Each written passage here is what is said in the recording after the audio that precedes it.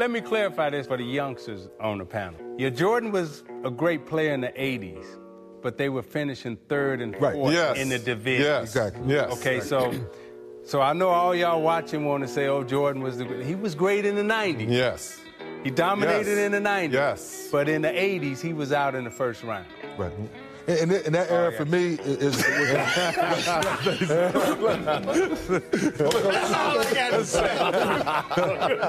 but to add to all that, message, message, message. that era